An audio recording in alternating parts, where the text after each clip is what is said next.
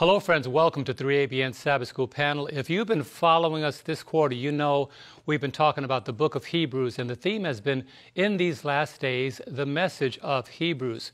But today, lesson number nine is about Jesus, the perfect sacrifice. We have enjoyed so much studying the book of Hebrews, and if you've been following week to week, you know that it has been exciting, revealing, uplifting Christ as our only hope. If you'd like to follow us by having a lesson, you can do it one of two ways. You can download it by going to 3abnsabbathschoolpanel.com and download a digital copy, or better yet, find a local Seventh-day Adventist church, walk in and say 3ABN sent you, and you can have an excursion together as a group walking through this exciting and revealing book. But nonetheless, don't go away. We'll be right back in just a moment to begin this journey together.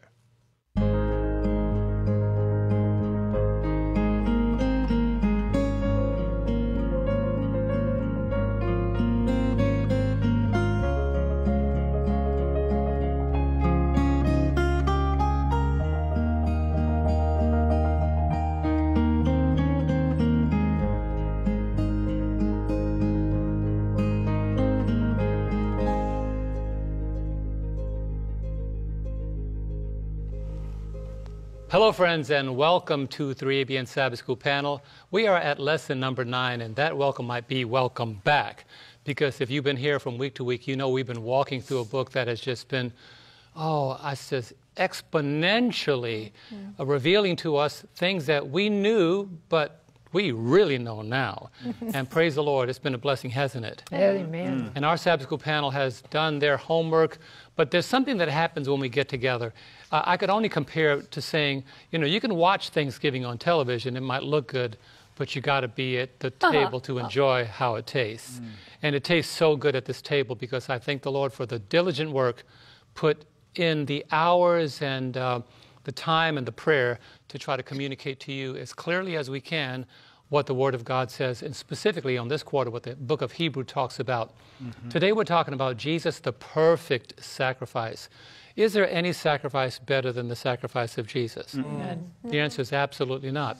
But before we go any further, first let's go ahead and reintroduce you. If you're new to our family, be introduced. But if you've been here week to week, you know these are family members. To my immediate left is Jill Morikone. Good to have you here, Jill. Thank you, Pastor John. Privileged to be here and excited about the study. And what are you covering today? Diverse kinds of sacrifices. Okay, and Ryan. Good to have you here, Ryan. Amen. It's always a blessing to be a part of this panel. And today I'm going to be covering on Tuesday's lesson, Jesus' Perfect Sacrifice. Shelley, always good to have you here. Thank you. It's always good to be here when I can. Uh, today I'll cover the cross and the cost of forgiveness. I like that. James?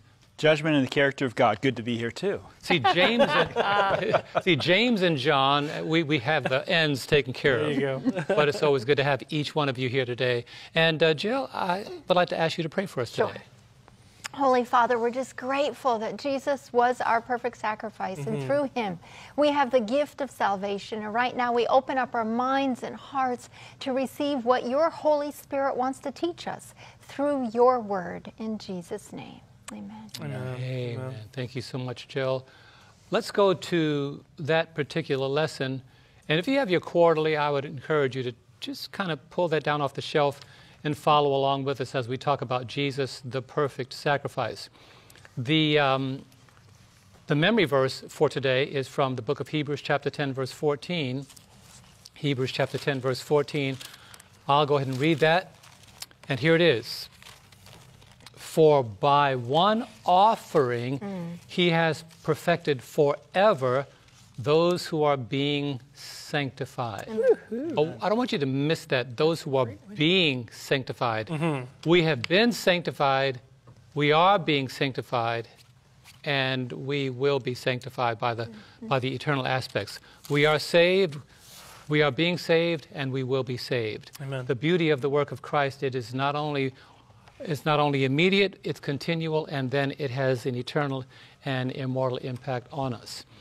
I've been thinking about this why were sacrifices needed? That's a huge question. Mm. Yeah. Why were sacrifices needed?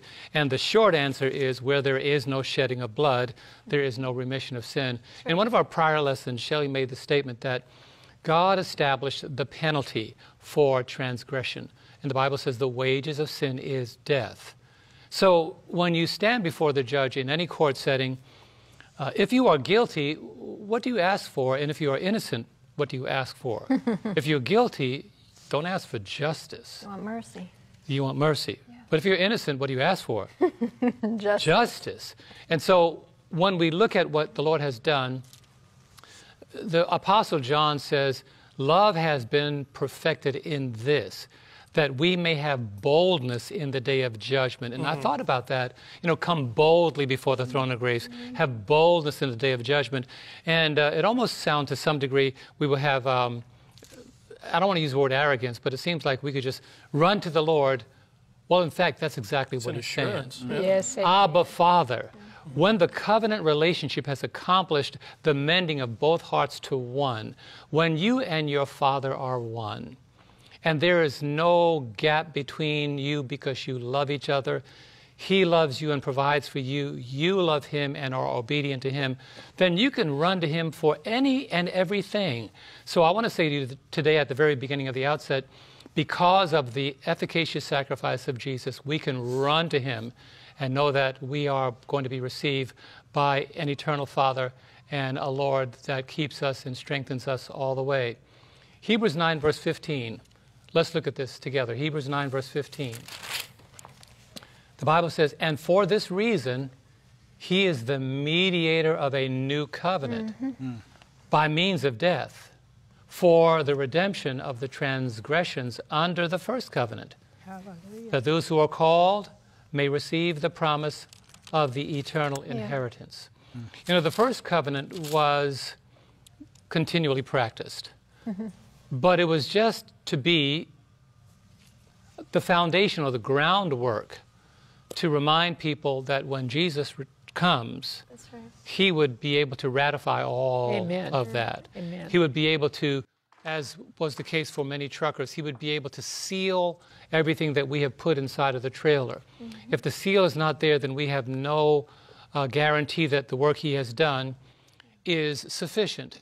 But when Paul says that his grace is sufficient for us, he brings out another component that I want to emphasize, which was very much a part of the first covenant because of the people. Why is his grace sufficient for us?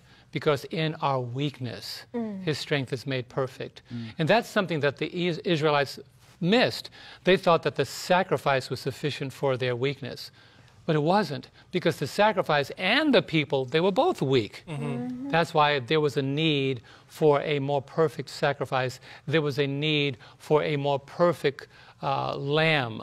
Nothing that the people could have done could have made their work uh, sufficient. So Jesus had to come. So we find in Hebrews 9:15, it explains that the death of Jesus as a sacrifice had the purpose of providing redemption. Yeah. It was providing something, not just substituting, but it was also a sacrifice of provision, pr- providing redemption of the transgressions that were committed under the first covenant. What is that saying? Think about how many thousands of years those sacrifices were going on. And then somebody, uh, let's just say 3,000 years later, say, um, was that okay? Did we do that? Did we do okay? Mm. And, and then the response was, if he's victorious, Yeah. everything you did is not in vain. Amen. That's right. But if he's not victorious, you just did 3,000, 4,000 years of work for no apparent benefit. Mm, mm. Yeah. Yeah. That's how that's how the salvation of humani- hum- humanity teetered like the fulcrum point on a, on a seesaw. Jesus became the fulcrum point between the first covenant and the second or the more perfect covenant. But the covenant hadn't changed. It was continuous all the way through. That's why Jeremiah made it very clear. Let's go to Jeremiah 34. And I want you to see how in verse 18 and 19, he points out why the sacrifices were necessary to atone for sin and ratify the covenant made between the parties involved. Jeremiah 34, verse 18 and 19. And I will give the men who have transgressed my covenant, mm-hmm. Who have not performed the words of the covenant which they made before me when they cut the calf in two hmm. and passed between the parts of it. It was, in fact, an exercise whenever there was a covenant made. They would separate the animal and walk between them as a sign of, "I- I'm accepting this covenant. I agree to this covenant. But look at verse 19. The princes of Judah the princes of Jerusalem, the eunuchs, the priests, and all the people of the land who passed between the parts of the calf. Now, why did he mention the princes of Judah, Jerusalem, the eunuchs, and all the priests? He says, as they made a covenant with one another and with me, I'm making a covenant with them. Yeah. Now, he becomes, and when you go to Ephesians now, the Bible says he broke down that middle wall That's of right. partition. That's right. Because walking between, there was a separation between uh, one portion of the temple and the other. And that curtain, even itself, Jesus became that middle partition. So he removed the temporary partition. He made all of those who were separated by the ceremonial systems. And let me add this component. You had to be an Israelite, you had to be a Jew, you had to be circumcised to participate in the ceremonial services. But when the Gentiles came in, the circumcision of the heart mm. was more important to Christ than the circumcision of the flesh, mm-hmm. which was a necessity under the first covenant. We find in Hebrews chapter 9, let's look at verse 6 and 7, why the sacrifices were necessary. Hebrews 9, verse 6 and 7. Now, when these things had been thus prepared, that is, the sacrifices, the priest always went into the, into the first part of the tabernacle, performing the services. But into the second part, the high priest went alone once a year, not without blood, Yes. which he offered for himself and for the people's sins committed in ignorance. I want to add something here. This is something we don't often focus on committed in ignorance. Mm-hmm. Paul the Apostle says, if we willfully sin, mm-hmm. there's a difference between a sin and iniquity. Iniquity is this continual willful sin.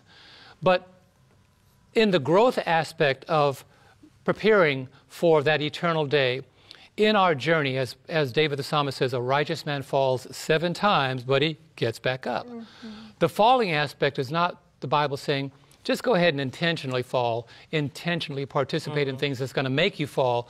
No, because it says in Jude 24, unto him who was able to keep you from falling. Amen. Mm-hmm. A lot of people think that I'm going to be a sinner continuously until the day mm. that I'm perfected. No, overcoming by the blood of the Lamb is, is available now. That's right. Mm-hmm. He says, right. My children, I write to you that you not sin. So he's not saying just keep on sinning. That's not what he told the woman at the well. He said, she said, he said Go and sin no more. Mm. So whatever you were confronted with, whatever challenge you had in your life, because Jesus is the one who provides the sacrifice, he doesn't just provide a sacrifice to forgive you of your sin, he provides the grace and the strength to make you an overcomer over that sin. Mm-hmm. Amen. So, so a lot of people say, well, that's just how I am. and we make excuses for continuing in a broken character, not seeking the sufficiency that is in Christ. Mm. So when he says, Good. his grace is sufficient for us in our weakness, his strength is made perfect. It's not saying keep on being weak. No. It is saying that in Christ I can do all things. That is also including the overcoming of the transgression that at one point caused you to stumble so easily, laying aside every weight and the sin that so easily besets you. Don't carry the weight. Lay it aside. That's right. That's why Revelation 12 and verse 11 says, And they overcame him by the blood of the Lamb and by the word of their testimony, and they did not love their lives to the death. Now, what does that mean, did not love their lives to the death? It is also uh, a comparison to, to the dedication and the obedience of Jesus.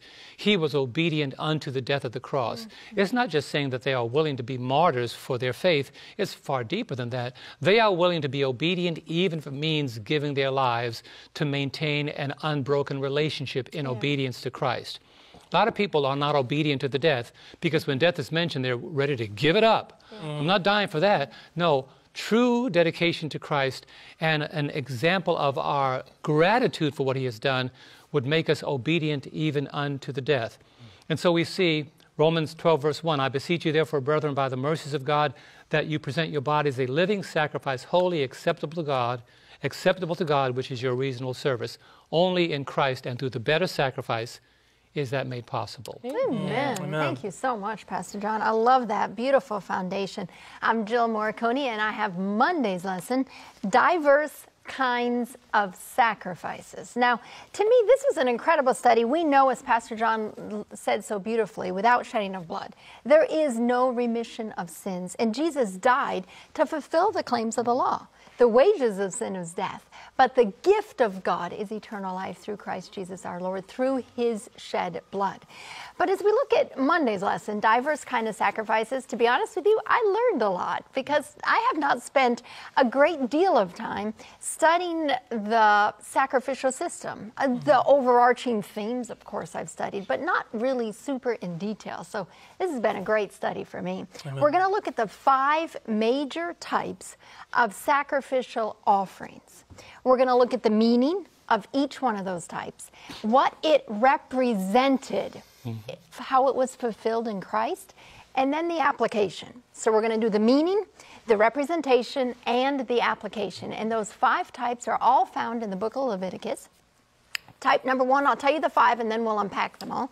Number one is the burnt offering. Number two is the grain offering. Number three is the peace offering or the fellowship offering. Mm-hmm. Number four is the sin offering or the purification offering. Number five, I call it the restitution offering because to me that makes more sense, but you could call it the reparation offering. So let's unpack those. What in the world do all these mean? Let's look at the burnt offering. You find that in Leviticus chapter 1. What is the meaning of the burnt offering? They actually offered the, the Israelites, they would offer a sheep, mm-hmm. sometimes it was a goat, sometimes it was a bull, Sometimes it was a bird. It always had to be without blemish. This was an atonement offering. The burnt offering, the key point in the burnt offering is that the entire animal was to be consumed on the altar. Everything was to be burned except for the hide or the skin of the animal. Everything else was to be burned. Of course, the person would place their head, their hand on the head of the animal and then that animal was accepted to make atonement for them. This is, of course, looking forward by faith to Jesus, the coming Messiah. Mm-hmm. So, what's the representation of the burnt offering? Christ's entire life was consumed for you and for me. Remember, mm. the entire animal was yeah. consumed on the altar? Mm. Christ's entire life is consumed. Hebrews 7 27 who does not need daily, this is referring to Jesus, as those high priests, to offer up sacrifices, first for his own sins and then for the people's.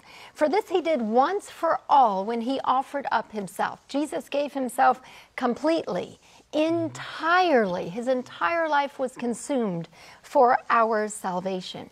We also say we, we don't have time to read it, but in Philippians chapter 2, we have this reference of Jesus being God Right. Being equal with God, giving up that station, coming down to this earth, taking the form of a servant, right. and then humbling himself to death on the cross. We see that entire sacrifice of himself when he came down. What is the application for us today? The blood of Jesus is to cover all of us. Not just one piece, but entirely. Forgiveness is complete. Forgiveness is total, but surrender and submission to God are to be complete and total. Many times we only give a portion of the offering. Hmm. We don't give a burnt offering. Okay, God, you can have this portion of me, but I'm keeping back a portion for myself because I don't want my entire life to be consumed mm. or to be surrendered right. or to be given to God. Let's look at offering number two. This is the grain offering, and this was not an offering for atonement, and this offering had no blood, no flesh, there was no death involved in this offering. It did not have the purpose of providing atonement. It was actually a gift of gratitude mm. for God's provision in sustaining his people. Now, what's interesting with all the offerings, I just thought this was an interesting side note, they added salt as a preservative, mm. symbolizing the permanence of God's covenant with his people. All the offerings, they added salt. So, what is the representation of this? Remember, this grain offering is a gift of gratitude for God's provision in sustaining his people. Christ is the one who provides eternal life. He is the bread of life. Mm-hmm. The grain offering, He is the bread of life. John 6, verse 35, Jesus said to them, I am the bread of life. He who comes to me shall never hunger. He who believes in me shall never thirst. You see, Christ sustains us. Christ provides eternal life for us. That's right. Jesus is the bread of life. And what's the application for us today? We need to feed on Jesus, the Word. We need to feed on Him and His Word. In addition to that, I believe we need to walk in recognition of His provision for our lives. Mm-hmm. If this offering is a gift of gratitude for God's provision and sustaining His people, clearly every day I need to recognize He is my God. That's He is my creator. He is my savior. He is my redeemer and soon coming king. Hmm. Let's look at offering number three. This is the peace offering or the fellowship offering. Now, in this case, the offerer ate, not just the priest. Mm. So the person bringing the offering would partake of the flesh as well. Now, they did not partake of the fat or the blood, but they would partake of certain portions. Mm-hmm. The purpose of the offering was to praise God. This was not an atonement offering either. The grain offering is not atonement, and the peace offering is not an atonement offering. They could bring a male or a female animal, which is interesting, without blemish to the Lord. This would be a communal meal with friends and family to celebrate the well being provided by God. Mm-hmm. So, what's the representation of this? Remember, the offerer would partake of the meal together. Mm-hmm. The representation, you and I, are to spiritually partake of Christ. Mm-hmm. Now, this is really fascinating. Remember, this is called the peace offering? I've always thought of Jesus' sacrifice in terms of blood, right? Without the shedding of blood, there's no remission of sins. His blood covers my sins, His blood covers my debt. That's how I have processed it. But also, there's a lot in peace involved with his death. Romans 5:1. Having been justified by faith, we have peace with God. Why? Mm. Through our Lord Jesus Christ. Does that mean that Jesus' sacrifice provides peace for us? Think about Isaiah 53. This is, of course, referring to Jesus. He was wounded for our transgressions. He was bruised for our iniquities. The chastisement for our, what's that word? Peace, Peace. was upon him.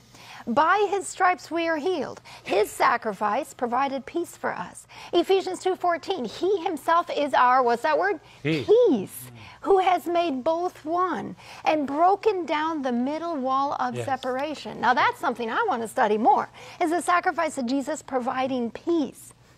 You and I participate in this sacrifice by eating his flesh and drinking his blood. We see this in John 6. Now let's look at the sin offering or the purification offering. This is offering number four. Now, this is most definitely an atonement offering. Of the five offerings, three of them were atonement offerings. The burnt offering was for non defiant type of sins. The sin offering, which we're discussing right now, was for non deliberate sins. The restitution offering, which is offering number five, was for misusing holy things. And you can see this in Leviticus 4 and 5, the sin offering. The interesting point is that the blood was applied to the outer altar in the courtyard. So the blood in this offering is more prominently displayed than in the other offerings. Hmm. The representation, Christ redeemed me. His life was provided, his blood redeems us from sin. He says in Matthew 26, This is my blood of the new covenant, which is shed for many. Why? For the remission of sins. Mm-hmm. What's the application for you and I today? We are to accept His blood that can cover our sin. Finally, number five, we're running out of time the restitution offering or the reparation offering. Now, this was also an atonement offering, but the interesting thing is that the person who brought the offering was required to make restitution. Mm-hmm. Not only did they bring the sacrifice, but they had to pay a penalty of 20% to restore what was wrongfully taken. It represents that Jesus Christ has paid the debt for my sin. Mm-hmm. He does not just redeem me by his blood, but he paid the debt that I owed. And it says that you and I today, even though we come to God and we ask for forgiveness, there are times when if we have wronged someone else, God requires us to make mm-hmm. restitution for what we have done and to pay that back. That is the restitution offering. Amen. Wow. Wow, Jill, thank you so much. And I'm so glad the way you did that, unpack that, because I, I kind of led into it by saying the sin of ignorance. and how powerful it is. You know, we have a lot more to go, uh, so don't go away. We'll be right back in just a few moments. Ever wish you could watch a 3ABN Sabbath School panel again? Or share it on Facebook, Instagram, or Twitter? Well, you can by visiting 3abnsabbathschoolpanel.com. A clean design makes it easy to find the program you're looking for. There are also links to the Adult Bible Study Guide so you can follow along. Sharing is easy. Just click share and choose your favorite social media. Share a link, save a life for eternity. Welcome back to our Sabbath School panel. I am going to give the time now to Ryan Day as he talks about. Jesus, perfect sacrifice. Okay. That's the title of the overall lesson, and uh, I certainly appreciated that foundation. It was very, very precise and very helpful in us understanding deeper what this means by Christ or Jesus' perfect sacrifice. I have Tuesday's lesson, of course, and the lesson starts out by having us read Hebrews chapter 7, verse 27, as well as Hebrews chapter 10, verse 10. So let's go to those passages. Hebrews chapter 7 first, verse 27. And notice what the Bible says. It says, Who does not daily need, uh, need, daily, this of course referring to Christ, as those high priests to offer up sacrifices for, notice, first for his own sins and then for the people's, for this he did once for all when he offered up himself. I love that. He did this once for all when he offered up himself. I love that. And of course, go on to Hebrews chapter 10, verse 10, this same message is echoed. Hebrews 10:10 says, "By that way we have been sanctified through the offering of the body of Jesus. There it is again, once for mm-hmm. all. Of course, Jesus was the perfect sacrifice, which is why he could only be offered up once and only for all, because he is the perfect sacrifice. The Levitical priest daily, as brought out in Hebrews chapter 7 and verse 27, as well as every year, as brought out clearly in Hebrews chapter 9, verse 25, offered gifts and sacrifices that cannot perfect the conscience of the worker. And of course, we, this is also clearly communicated in Hebrews 9, verses 9 and 10, as well as Hebrews chapter 10, verses 1 through 4. There's going to be lots of scripture, so get ready. Hebrews chapter 9, verses 9 and 10. Notice what the Bible says.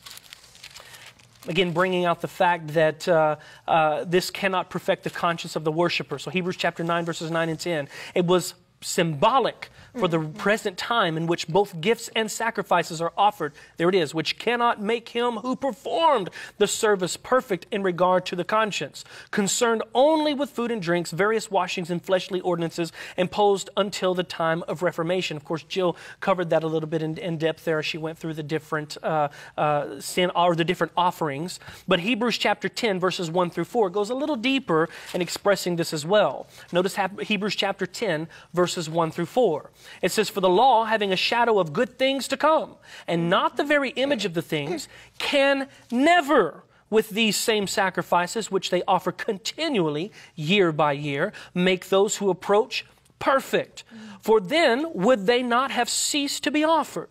For the worshippers, once purified, would have had no more a conscience of sins. But in those sacrifices, there is a reminder of sins every year.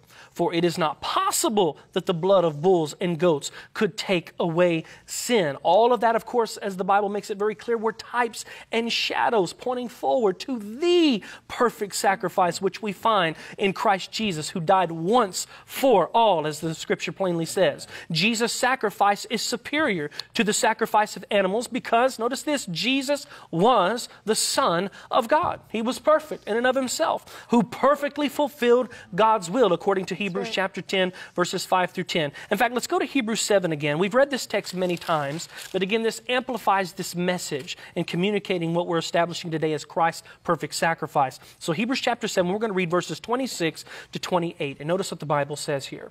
For such a high priest was fitting for us who is holy harmless, undefiled, separate from sinners, and has become higher than the heavens, who does not need daily, as those high priests, to offer up sacrifices, first for his own sins and then for the people's. For this he died, here it is, here it is again, once for all, when he offered up himself.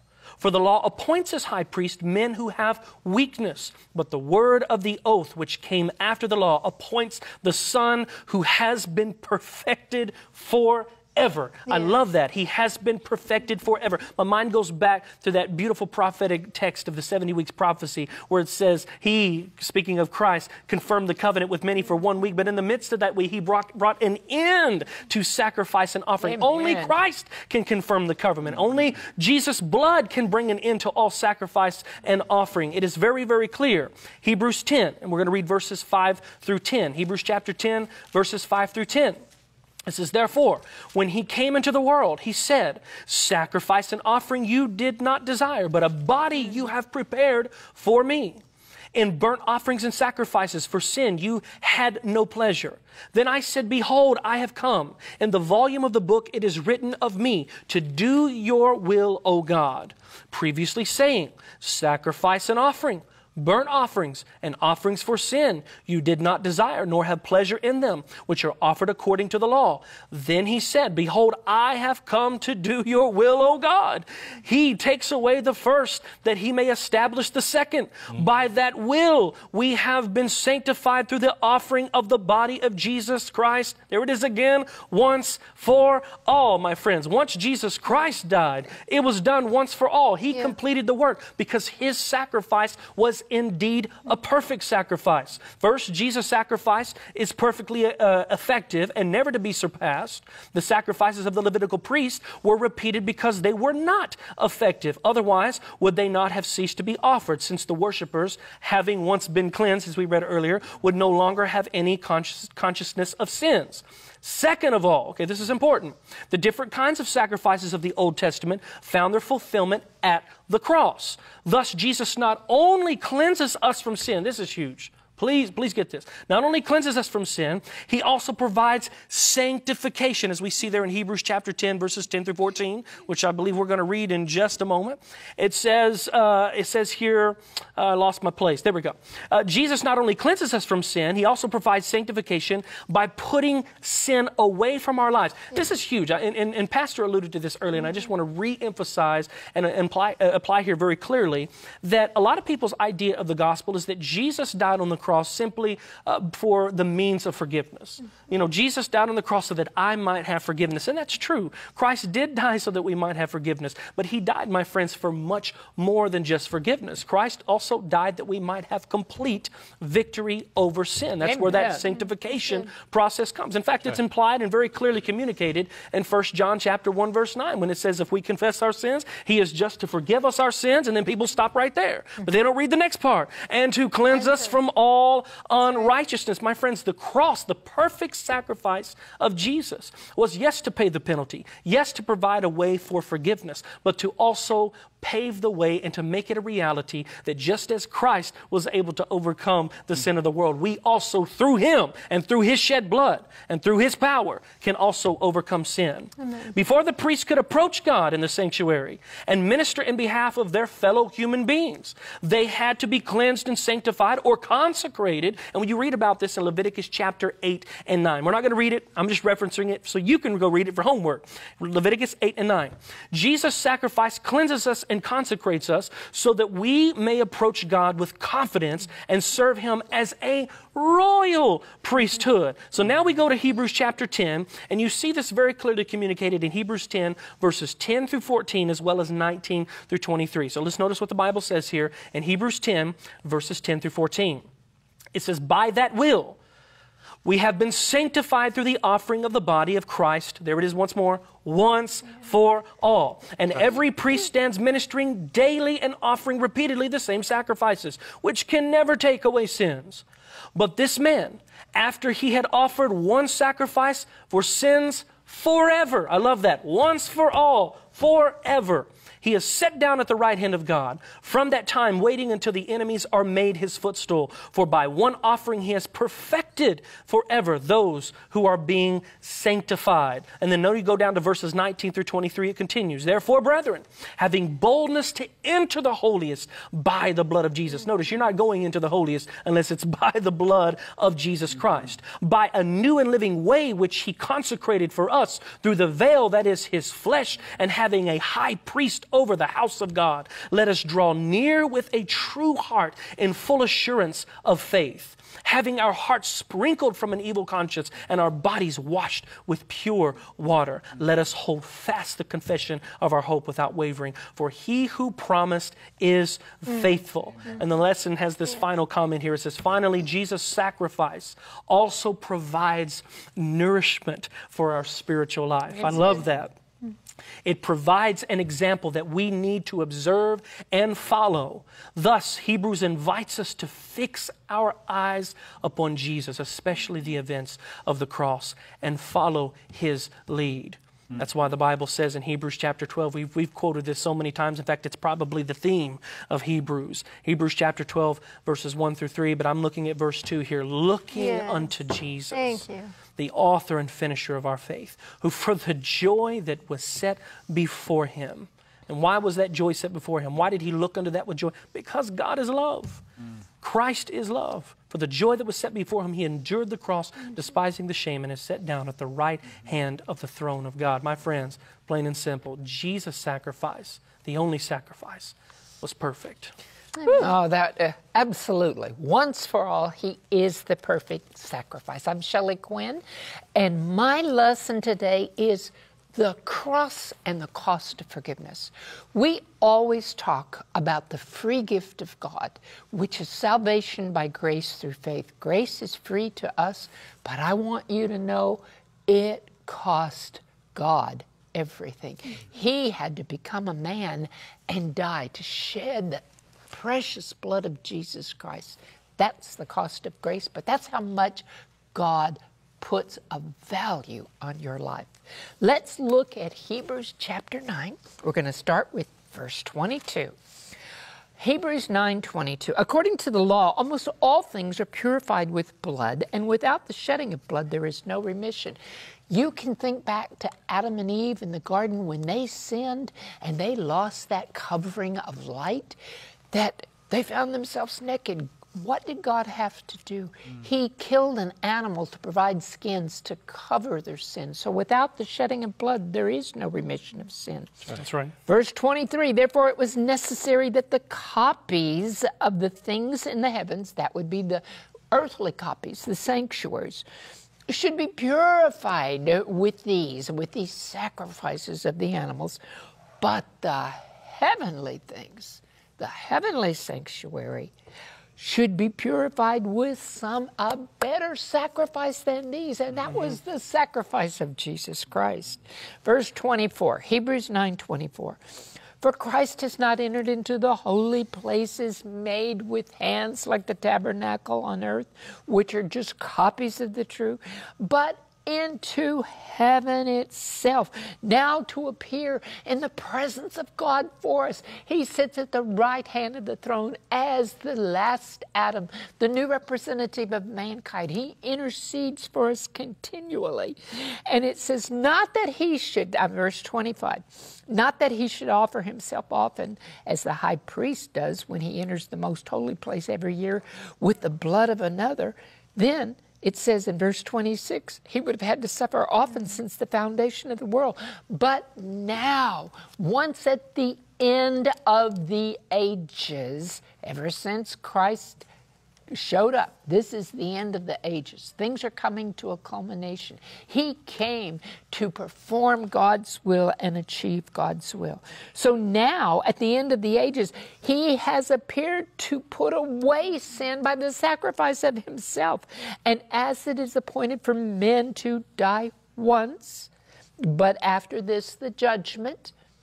So Christ was offered once Mm. to bear the sins of many. I have to pause here and say this.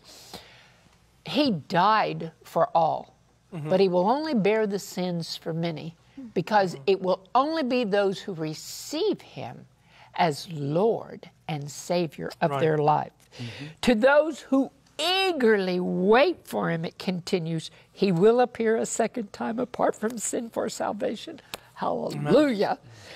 See, the old, the sanctuary of the old covenant was nothing but a copy of the heavenly sanctuary. Hebrews 8 5, uh, God is talking about this, and it says that those priests, the earthly priests, the Levitical priests, served the copy and shadow of the heavenly things as Moses, Moses was divinely instructed when he was about to make the tabernacle. For God said to him, Moses, see that you make all things according to the pattern shown you on the mountain.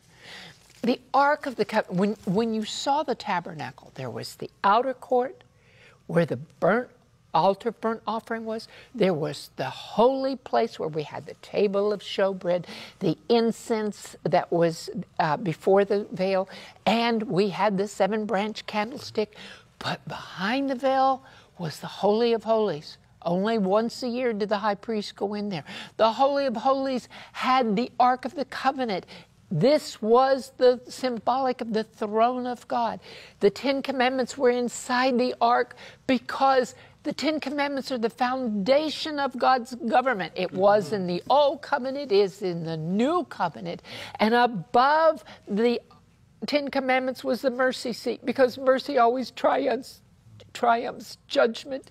Between the cherubim, the Shekinah glory of God would come down and he would sit on his throne. That throne, that ark, was a symbol of God's government. Yes. So Psalm 97 2 says that righteousness and justice are the foundation of his throne. As the omnipotent ruler, God is our judge. He bears judicial responsibility to be fair. He's got to vindicate the innocent, but he must judge and punish the guilty. Let me tell you something justice is to get what you deserve, mm-hmm. mercy is not to get what you deserve. Mm. But grace Grace is to receive what you don't deserve. Mm. In Exodus 34 7, it talks about God, He's speaking Himself, saying, He keeps mercy for thousands, forgiving iniquity and transgression and sin, but by no means clearing the guilty. Mm. His way of judging affects the public perception of righteousness mm-hmm. of His government. So to carry out justice. He's a just God, and to carry out justice, God had to become a man to take on our flesh so that he could die in our place, paying that penalty. And you know what? That makes him both just mm-hmm. and the justifier right. because he bears our sin. In the original Hebrew, the word for forgiveness means to bear, mm. to carry our sin. So, under the old covenant system, which pointed to Christ, everything hmm. about it, there were two phases of cleansing from sin. The first, the sinner brought an animal sacrifice. He placed his hands on the little sacrifice, the lamb, transferring his sins from himself to the substitute. And then cut its throat. Now, I'm saying that, and I did that. I don't mean to be disrespectful. Can you imagine what it would be like to cut the throat of a little baby lamb because you sinned? Boy, it make, I think you would think about it twice before you sinned again. But the blood of the animal was daubed on the horns of the altar, um, and, and then that's the burnt offer, offer the altar burnt offering. Mm-hmm. And then it was transferred before the veil. It was sprinkled before the veil that separated the holy and most holy place. So the sin was symbolically transferred to God Himself. It allowed God to show justice and mercy at the same time. But the second phase of cleansing of sin was done once a year on the Day of Atonement, the only day that the high priest, and only the high priest, could go behind the veil. Now, we've got a whole study coming up on the veil, it's fabulous. But the high priest went behind the veil to, to, in the Holy of Holies to cleanse the sanctuary of sin. Now, listen to the, what our author of our quarterly says, at the end of the year on the Day of Atonement, which was the day of judgment, God would cleanse the sanctuary, clearing his judicial responsibility by transferring the sins from the sec- sanctuary to the scapegoat, Azazel. Azazel. Azazel, one day I'll pronounce that correctly, Azazel, who represented Satan. You find that in Leviticus 16, 15 through 22. But then the author goes on and says, Those who confess their sins during the year showed loyalty to God by observing a solemn rest and afflicting themselves on the Day of Atonement. Those who did not show loyalty would be cut off. Mm. Wow, that's eye opening. It makes sense that Jesus, as our substitutionary sacrifice, cleansed the heavenly temple. Everything was a pattern, so it had to be done. There had to be a cleansing. The, what happened at that time, the vindication of God's character, because the cosmic conflict has all been about God's character. And what happened is Christ transferred sin to its rightful author, Satan. Amen. Amen. Amen. Praise God. These lessons have been incredible. They've been mm-hmm. such a blessing in the book of Yes. Hebrews. I have Thursday's lesson, which is really going to pick up, Shelley, where you left off. It's entitled Judgment and the Character of God. My name is James Rafferty. And we're looking here in Romans chapter 3, verses 21 to 26. Now, we are going to be staying in the theme of Hebrews, but for this day, we haven't really been given Hebrews to look at. But if you want to think about, as we read through these verses, what we're talking about, what we're going to be focusing on, judgment and the character of God, the overall foundation for this is going to be Hebrews 11 and Hebrews 12. We haven't really gotten there yet. We're still in Hebrews 10, kind of moving towards that direction. But we'll see how what we're going to look at now connects with Hebrews 11 and Hebrews chapter 12. Okay, Romans chapter 3 beginning with verse 21. But now, the righteousness of God, the justice of God, the righteousness of God, the fairness of God, without the law is manifested, being witnessed by the law and the prophets. Even the righteousness of God, which is by faith of Jesus mm-hmm. Christ unto all and upon all them that believe, for there is no difference. There's no difference between believers and those that don't believe when it comes to God doing what's right That's mm. right. the righteousness of God. God has to do what's right. And He does this through the faith of Jesus. Mm-hmm. Now, the faith of Jesus is something that Jesus wants us to have, but before we have it, He has it. It's His faith before it's our faith. The Bible says that Jesus Christ is the author and the finisher Amen. of faith. And that's, of course, Hebrews chapter 12, verse 2. So Jesus Christ has this faith toward us before we have faith back toward Him. And that faith causes Him, well, it says here, to be presented for those who are all and for those who believe. That is, according to Romans chapters 1 and 2, everyone. Mm-hmm. Mm-hmm. All we like sheep have gone astray. We turned everyone to his own way, and the Lord has laid on him the iniquity of us all. Isaiah 53, verse 6. Then it goes on to say, For all have sinned, that's past tense, and come short, present tense, continual, of the glory of God. All have sinned and come short of the glory of God, being justified freely by his grace Hallelujah. through the mm-hmm. redemption that is in Christ Jesus. Right. Grace is getting what we don't deserve. That's right. Whom it says in verse 25, God has set forth, Jesus Christ, to be a propitiation through faith in his blood, to declare his righteousness for the remission of sins that are past, through the forbearance of God, to declare, I say at this time, his righteousness, that he might be just and to justify him that believes in Hallelujah. Jesus. These are the verses that we're looking at here in Thursday's lesson. I want to read from the NIV these last two verses, verses 25 and 26. Here's what the NIV says. I think it's a little clearer.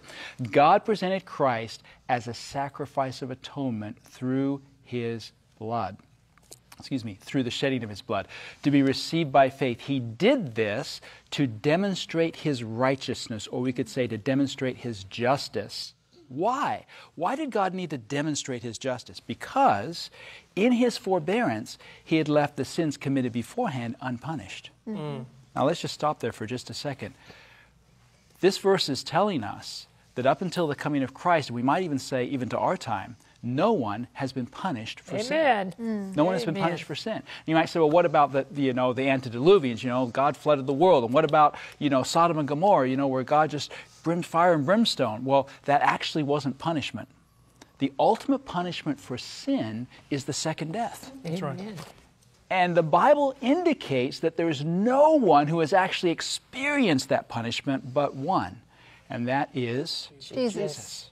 That's why in Psalm 51, David is repenting of his sin with Bathsheba, and he actually says there in Psalm 51, verse 4, Against thee and thee only have I sinned. Mm.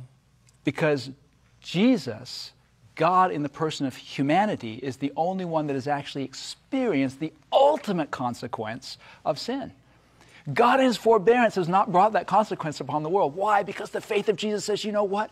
If I die, if I become a man, if I take their sin upon, if I carry that sin, I believe that if they see that, I believe that if I be lifted up, John chapter 12, verse 32, that it'll draw all unto me. I believe that. That's my faith toward humanity. And that faith toward humanity is going to be rewarded in those that actually exercise faith back to Jesus, who appreciate what he's done, who respond to what he's done, mm. and who allow what he's done to be lived out in their lives.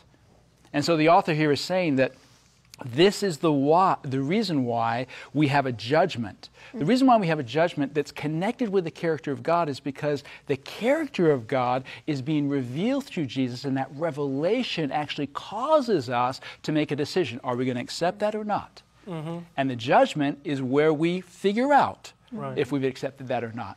See, we're not mm. saved by our works, we're saved by grace.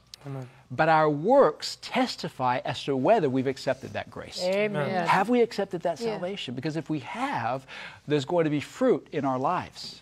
If we've accepted what Jesus Christ has done for us, if we have received the faith He's exercised toward us, if we have the faith of Jesus that He exercised towards us, we are actually going to keep the commandments of God. Amen. That's why Revelation chapter 14 closes out with this beautiful picture in the proclamation of the everlasting gospel. Here are they that have or keep the faith of Jesus, the faith that He's exercised toward us, that's the gospel, and the commandments of God, the fruit of that faith, obedience in their lives. So when we look at this, it's powerful because what happens with God's people is this mediation in the judgment applies to all who receive the grace of Jesus Christ. And as appl- as, as it is applied to them, their record comes up. Have they accepted? Their record comes up. And Hebrews chapter 11 tells us what that record looks like. You see Noah who was faithful to preach for 120 years. Hebrews 11 doesn't mention that he got drunk in his tent. That's right. You see Abraham who stepped out in faith, you know, not knowing where he was going. Doesn't say that he lied about his wife being his sister twice. You see Moses who refused to be called Pharaoh's son and suffered affliction with the people of God. Doesn't say that Moses killed that Egyptian and buried him in the sand. Mm-hmm. There is no record in Hebrews 11 of the failures of God's people Yeah. because they are standing in the faith of Jesus Christ. they are standing in the blood of Jesus Christ, the righteousness of Jesus Christ. And mm-hmm. all of their record has been blotted out. Hebrews 11 could be a perfect example of the investigative judgment that vindicates the character of God because God said, I believe if these people see me and accept me, that their lives will be transformed and they will be returned to obedience. Mm. They will be returned to faithfulness to my law. There's a closing statement we want to look at here. It's in the quarterly.